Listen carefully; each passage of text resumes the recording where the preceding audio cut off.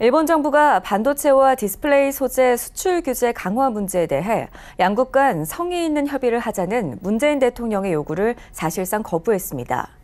세코 히로시게 일본 경제산업상은 오늘 국무회의 후 기자회견에서 한국에 대한 수출 규제 강화에 대해 협의의 대상이 아니라다며 문 대통령의 제안에 부정적인 입장을 보였습니다. 세코 경제산업상은 한국에 대한 이번 조치는 수출 관리를 적절히 시행하기 위한 국내 운용의 재검토라며 철회도 생각하지 않는다고 말했습니다.